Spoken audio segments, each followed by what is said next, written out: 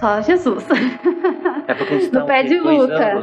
De, de obra? É. Dois anos de obra, infelizmente. É, é, a Integra tem quatro anos, né? Então, depois de dois anos aí dos grupos acontecendo dentro da minha clínica, a gente resolveu montar é, os atendimentos a domicílio, né? A gente resolveu montar uma estrutura para receber também essas crianças, porque a gente pensa muito, às vezes o formato da intervenção, ela, ela acaba esquecendo que a criança precisa de outras intervenções, que é- são as questões motoras, né, as questões de trabalho social para os maiores. Eles crescem, então a gente precisa ter grupos de adolescentes. Então houve essa necessidade de ter um espaço. Então nós começamos aqui mesmo na Rua Altapinder a, a reforma de uma casa.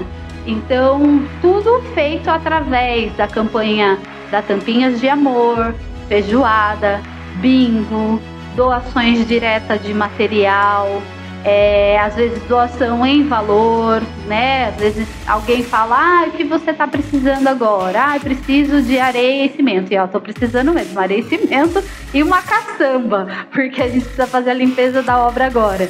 E aí então tá precisando. Então, precisa depositar, preciso dar o dinheiro? Não. Danúbia, aonde você pega a caçamba? Ou ó, liga lá pro lugar do, do entulho e fala, ó, tô mandando uma caçamba para você.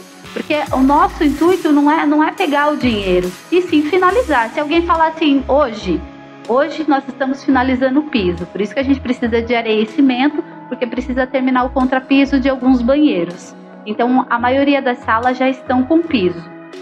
É, mas tem a parte da recepção e os banheiros que tem que terminar contrapiso e piso.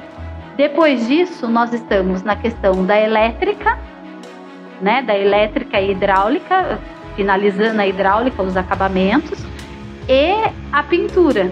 Então, o mais pesado é elétrica. E paralelo a isso, a gente tem o espaço da piscina terapêutica, que hoje é, a gente está conduzindo como plano A e plano B. Por quê? Aonde é a piscina terapêutica não necessariamente precisa estar pronto para a gente começar a funcionar. Então hoje o nosso foco maior é finalizar a elétrica e a pintura, né, para poder começar a funcionar. Então assim, é, Deus tem abençoado muito.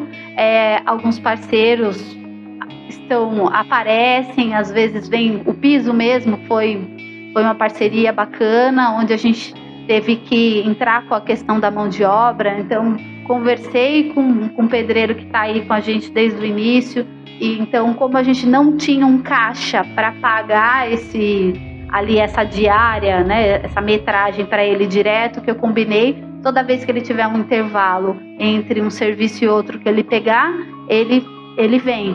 E aí nisso a gente vai dando conforme pode e tal. Ele é um cara que o filho tá em investigação, então ele tem muito interesse, ele pode fazer de graça porque ele vive disso, mas ele tem muito interesse em ajudar que a gente consiga terminar.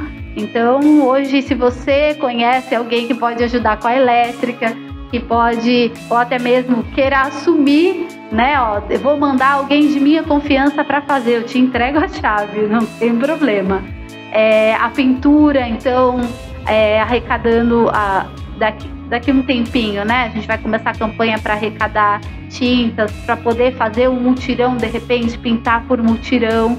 A gente vai fazer da forma que, que for possível ser feito, né? Mas hoje a Integra ela, ela sobrevive de doações de parceiros e amigos e das campanhas que a associação faz.